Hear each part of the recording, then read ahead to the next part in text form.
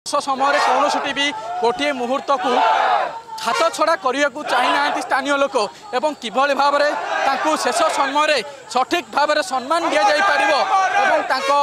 ଅମର ଆତ୍ମାକୁ କିଭଳି ଭାବରେ ଶାନ୍ତିର ସହିତ ସଦ୍ଗତ କରାଯାଇପାରିବ ସେ ନେଇ ମଧ୍ୟ ସ୍ଥାନୀୟ ଲୋକମାନେ କିଛି ହେଲେ ବି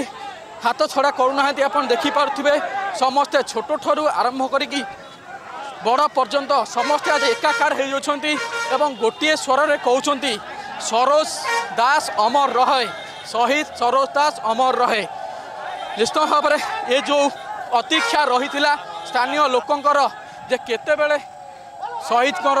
ମର ଶରୀର ଆସି ପହଞ୍ଚିବ ଏବଂ ତାଙ୍କର ଶେଷ ଦର୍ଶନ କରିବେ ଆମେ ମଧ୍ୟ ପୂର୍ବରୁ ମଧ୍ୟ ଚିତ୍ର ଦେଖି ଆସୁଥିଲୁ ଯେ ଯେଉଁ ଛକ ଗୁଡ଼ିକ ରହିଥିଲା ତାଙ୍କ ଗାଁକୁ ଆସିବା ସମୟରେ ଢେଙ୍କାନାଳରୁ ପ୍ରତି ଛକରେ ଲୋକମାନେ ତାଙ୍କୁ ଶ୍ରଦ୍ଧାଞ୍ଜଳି ଜ୍ଞାପନ କରିବା ସହିତ ତାଙ୍କର ଯେଉଁ ରହିଛି ପାର୍ଥିବ ଶରୀର ସେଥିରେ ମଧ୍ୟପିତ ହେଉଛି ଏବଂ ପ୍ରତ୍ୟେକଟି ଲୋକଙ୍କ ଆଖିରେ ଆପଣ ଲୁହ ଦେଖିପାରୁଥିବେ ଯାହାକି ସ୍ପଷ୍ଟ ବାରି ହୋଇପଡ଼ୁଛି ଯେ କିଭଳି ଭାବରେ ଭାବମୟ ଏବଂ ଦୁଃଖମୟ ପରିସ୍ଥିତି ରହିଛି ଏବଂ ଯେଉଁ ଅପେକ୍ଷା ରହିଥିଲା ତାର ମଧ୍ୟ ଅନ୍ତ ଘଟିବାକୁ ଯାଉଛି ଏବଂ କୌଣସିଟି ବି ମୁହୂର୍ତ୍ତକୁ ବୀର ପୁଅର ଶେଷ ସେ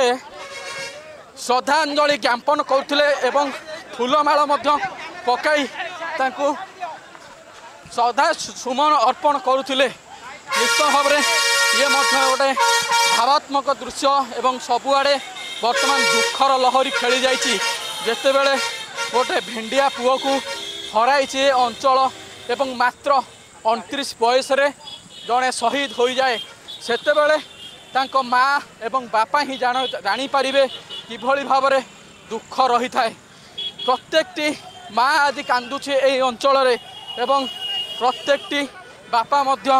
আজি কান্দুଛନ୍ତି যে কিভাবে ভাবে তাঁর শেষ সময়ের দর্শন করা যাইপার সে নেই মধ্য কৌশি প্রকার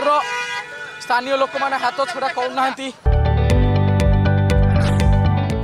যদি আপনার আম ভিডিওটি ভাল লাগিলা তেবে আম চ্যানেল কু লাইক সেয়ার ও সবসক্রাইব করা জমা বি ভুলতু না